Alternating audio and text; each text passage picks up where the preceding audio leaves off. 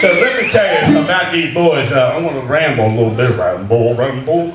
Uh, the Dougie Jones is my business partner and blind as well. I couldn't get along with nobody else. and then we got Phil and Paul and Maz and, from England, and it's such a pleasure to have them. Give them a hand for Yeah. what they do. That drummer, he got, he got that. Let's give Johnny Duke and uh, Alicia a hand too. Thank you for being out. Yeah, that's right. I was getting there, man. You gonna cut me off, boy. I. And give Johnny Neel two hands. Yeah. Or the finger. Oh, hold on.